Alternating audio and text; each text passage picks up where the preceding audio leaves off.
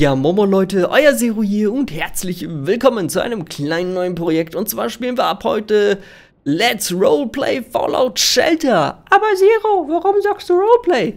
Nun, Timmy, das ist eine ausgezeichnete Frage, denn wir werden dieses Mal bei Fallout Shelter ein wenig alles anders gestalten. Wir hatten das ja schon, dass man einen Charakter besaß und der saß da halt einfach rum und hat sich einen Keks gefreut mit seinem Namen. Dieses Mal werden wir das Ganze ein bisschen interaktiver gestalten, denn ich möchte, dass ihr euch ein bisschen mehr einbindet in dieses Projekt und habe mir da ein bisschen was einfallen lassen. Wir haben hier jetzt zehn Personen, noch nicht in die Kommentare schreiben. Noch nichts in die Kommentare schreiben, bitte. Weg von den Kommentaren, aus, pfui. Lasst mich erstmal erklären. So. Diese Charaktere sind individuell. Das heißt, jeder von euch besitzt ja einen Charakter und diesen wird er auch quasi steuern. Und zwar ähm, werdet ihr ihn selbst verwalten. Ihr werdet ihn selbst einkleiden, ihr, ihr werdet quasi selbst bestimmen, was mit ihm passiert ist. Außer natürlich ins Ödland gehen. Jeder von euch wird ins Ödland gehen. Ich habe die Charaktere num numerisch sortiert. Und das Einzige, was passieren wird, ist halt, dass euer Name dahinter geklatscht wird. Und ich werde der Reihe nach alle Leute quasi rausschicken, dass sie sammeln. Das ist ganz wichtig bei diesem Projekt, denn ihr geht raus, sammelt Gegenstände, sammelt Kronkorken und behaltet sie euch für euch selber. Das heißt, ihr werdet einen Inventar haben, wo eure Gegenstände drinne sein werden, die keiner anderer bekommt außer ihr. Nun, wie willst du das realisieren, Zero? Es ist ganz einfach. Wir gehen hier hin. Hier haben wir erstmal einen Marktplatz, den wollte ich euch noch nicht zeigen. Hier haben wir quasi eine Liste von Vault-Bewohnern. Hier ist euer Inventar. Äh, am Anfang werdet ihr nur einen Inventarplatz haben, denn das Ganze ist ja skaliert nach dem, was wir hier im Lager haben. Wir haben 10 Platz, wir haben 10 Leute, jeder nur einen Platz. Bauen wir aber einen Lagerplatz, haben wir ja, äh, ich glaube, 30. Und somit hat jeder drei Plätze und bauen wir das Lager immer weiter aus, haben natürlich mehrere Leute, mehr Plätze. Ihr wisst, wie das ausgeartet ist beim letzten Let's Play. Wir hatten unendlich viel Stauraum, das heißt, eu euer Inventar wird später recht groß sein, wo ihr Gegenstände drin haben könnt. Jetzt denkt ihr euch natürlich Zero. Ja, schön und gut. Aber was mache ich mit dem Schrott, wenn ich ihn in, mein, in, in meinem Inventar habe? Nun, zum einen könnt ihr ihn A verkaufen für Kronkorken und B könnt ihr ihn auf den Marktplatz stellen. Sagen wir, Persönchen 1 zieht los, findet eine Sniper und eine Shoddy und zieht sich logischerweise die Sniper an. Also ihr schreibt mir in die Kommentare, ähm, ich ziehe die Sniper an. So. Und dann habt ihr nämlich noch die Möglichkeit, was mit, dem an mit, mit der Shotty zum Beispiel passiert. Und da könnt ihr sagen, hey Zero, ich möchte gerne die Shotty auf dem Marktplatz für diesen und diesen Preis machen. Das heißt, wenn ihr die Schotti einfach so verkaufen würdet, würdet ihr, glaube ich, 30 Kronkorken bekommen. Wenn überhaupt. Auf dem Marktplatz könnt ihr euch äh, den Wert der Schotti selbst festlegen. Das, das heißt, oh, ich habe eine Schotti gefunden, die ist blau und äh, macht gut Schaden. Ich packe die mal für 200 Kronkorken auf den Marktplatz, denn Person 2 hat nämlich im Ödland nichts gefunden, aber dafür einen Haufen Kronkorken. Das heißt, Person 2 kann sich die Schotti kaufen, um sich zu verteidigen. Warum ist das so wichtig? Warum ist es so wichtig, euch zu verteidigen? Warum ist es so wichtig, dass ihr euch einkleidet? Nun, wir haben hier bei Fallout Shelter einen Permadeath. Wenn ihr nicht für euch sorgt, wenn ihr nicht ausgerüstet seid und irgendwo hingeht, dann werdet ihr einfach jämmerlich krepieren und seid dann weg vom Projekt. Natürlich könnt ihr euch nochmal bewerben beim nächsten Charakter und mit ein bisschen Glück seid ihr wieder drin. Aber Permadeath, euer Charakter ist weg, eure Gegenstände sind weg, eure Items sind weg. Pipapo. So, wichtig beim Marktplatz ist noch, es gibt ja eine Menge Schrott hier bei Fallout Shelter und mit diesem Schrott kann man ja Gegenstände bauen. Wenn ihr einen Gegenstand bauen wollt, aber nicht die Ressourcen habt, dann müsst ihr zwangsweise auf den Marktplatz gehen, um da quasi von jemand anderem was zu kaufen. Ihr könnt natürlich auch einfach in den Kommentaren äh, miteinander schreiben, wie zum Beispiel, hey, 02, ich habe gesehen, du hast einen Teddybär gefunden, den brauche ich für meine Bazooka. So, dann gebt ihr dir einen Preis und dann behandelt ihr. Es gibt aber natürlich auch noch eine andere Möglichkeit und zwar äh, könnt ihr quasi hier auf den Marktplatz gehen, wenn ihr mir sagt, Zero, ich möchte diesen Teddy für 1000 Kronkorken auf den Marktplatz setzen, dann wird der hier auftauchen. Den Marktplatz und vor allem äh, euer Inventar findet ihr unten in der Beschreibung immer. Äh, ich glaube an der ersten oder zweiten Stelle. Und da könnt ihr halt immer nachgucken, was ihr habt. Ihr könnt auch gerne selber mitschreiben, damit ihr immer wisst, was ihr gerade quasi zur Hand habt, äh, wie viel Kronkorken ihr habt. Die erste Zeile hier wird äh, quasi die Kronkorken sein. Die habe ich jetzt verkackt. Mach ich einmal ganz kurz. Ja. So, kann ich. Mach ich einmal ganz kurz. War falsch. So. Das hier bleibt auf jeden Fall. Nee, das. Nee, ach, das war doch alles richtig. Nee, das war nicht richtig. Nein, das ich. Ich verkack's gerade. Verkack's gerade übel.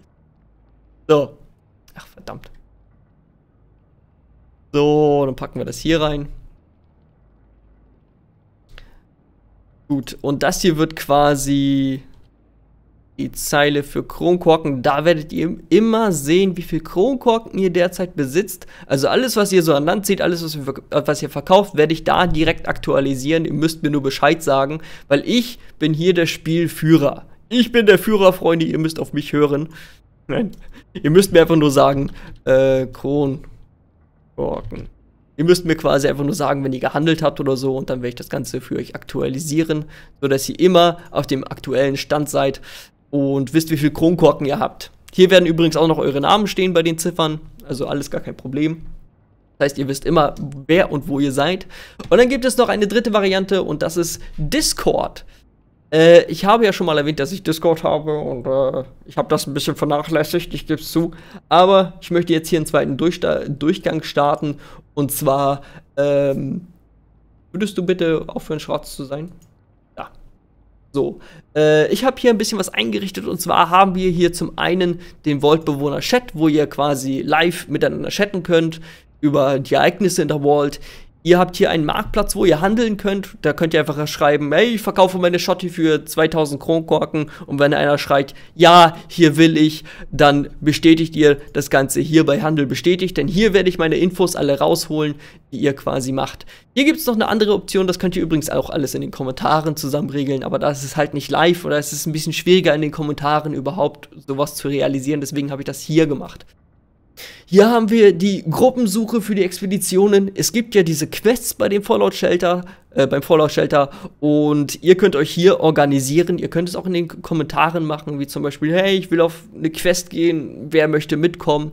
Dann sammelt ihr euch da zusammen und könnt gemeinsam auf eine Quest gehen. Aber Vorsicht, wenn ihr nicht equipped seid, könnt ihr da easy sterben. Ich bin nur der Spielmacher, ich versuche mein Bestes, euch am Leben zu halten, aber im Großen und Ganzen seid ihr es, die euren Charakter am Leben erhalten.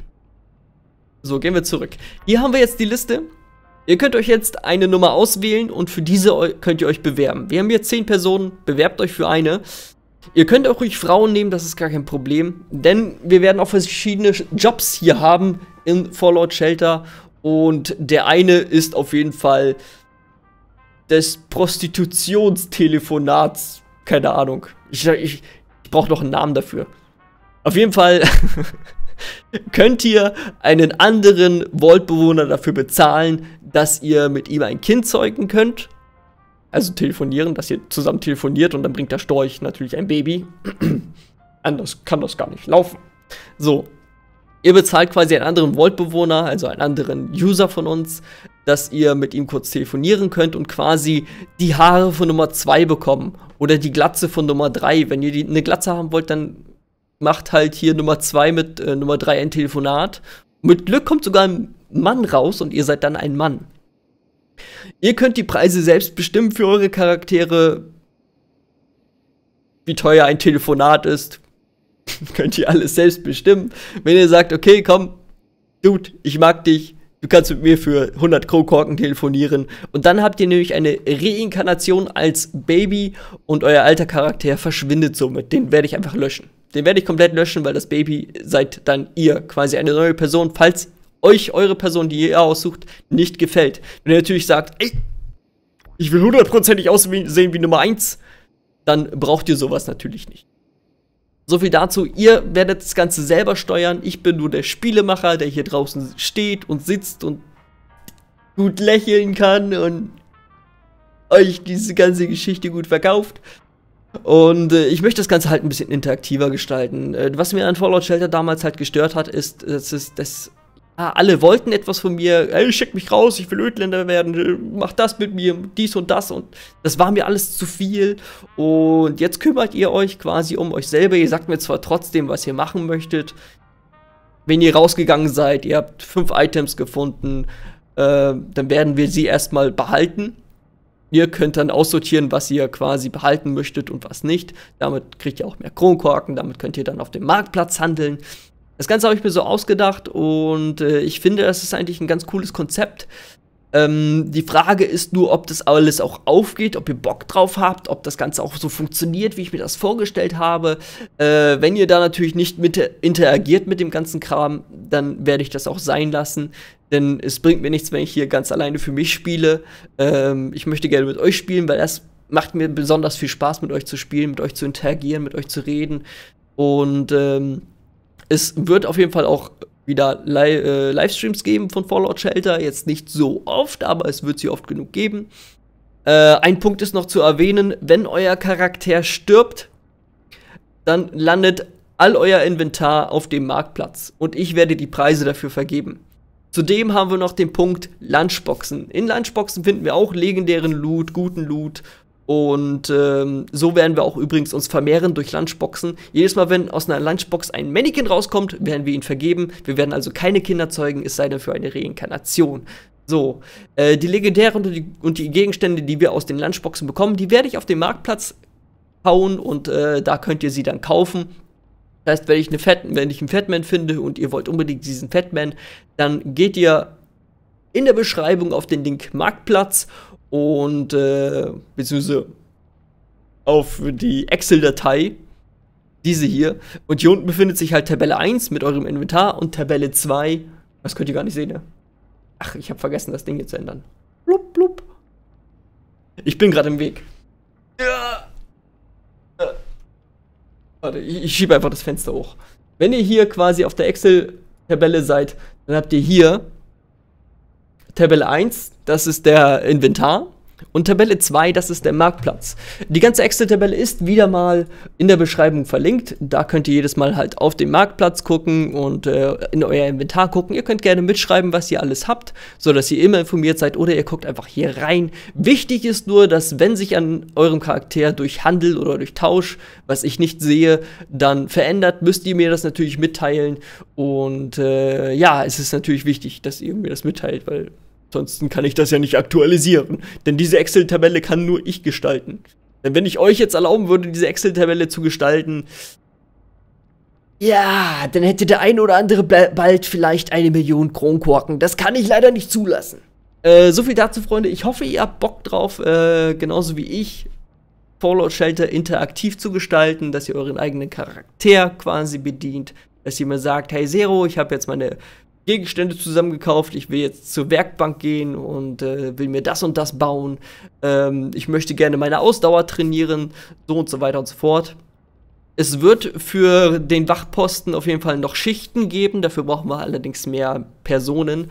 Dann habe ich einen Schichtplan, äh, wo eine Woche lang halt zwei Personen da drin sind und nicht raus dürfen, weil sie auf die Vault quasi aufpassen. Das heißt, ihr seid an erster Stelle da bei der Vault und ihr seid in Lebensgefahr. Wenn ihr nicht gut ausgerüstet seid und plötzlich per Dienstplan da reingewählt werdet und ihr habt ein Messer in der Hand und Boxershorts oder kommt eine Todeskralle, dann kann ich euch so viele Stimpacts reinhauen, wie ich will, ihr seid tot. Da kann ich euch nicht helfen. Das heißt, interagiert. Wer nicht interagiert, der stirbt im Großen und Ganzen ist das das Ganze. Wir fangen heute allerdings noch nicht an. Heute ist nur die Erklärung. Nächste Woche geht's los. Jeden Montag Fallout Shelter. Seid dabei. Ihr habt dann eine Woche Zeit zu interagieren mit eurem Charakter, ihn irgendwo, was weiß ich, zu handeln, hier, pipapo, und mir Wünsche zu geben, wie zum Beispiel, hey Zero, ich äh, hasse das Kraftwerk, weil Nugget da ist und ich kann Nugget nicht leiden. Ich will woanders arbeiten. Dann arbeitet ihr woanders. Weil ihr seid hier verantwortlich für die Vault, ich bin nur der Spielemacher. Und ich, ich, ich, ich will mal gucken, wie das Ganze so äh, laufen wird. Und wie gesagt, es liegt an euch, ob das Projekt weitergeht oder nicht, ob ihr interagiert oder nicht. Und ich hoffe, es wird was. Ich hoffe, ihr habt Spaß dabei. Und wir sehen uns dann nächsten Montag. Ähm, hier sind nochmal die Charaktere. Sucht euch einen aus.